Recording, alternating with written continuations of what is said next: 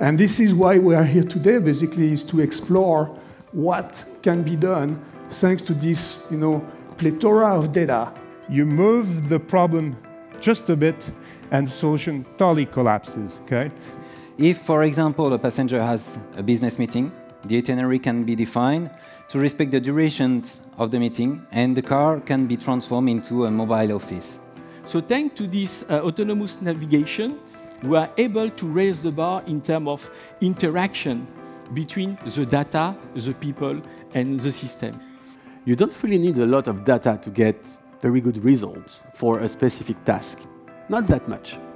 If we want to, to win in the world to come, in the world of AI and cybersecurity, I think we will need some help from the governments, from the authorities. But the idea that you are going to keep all of the sensitive information inside an organization is no longer really a meaningful idea.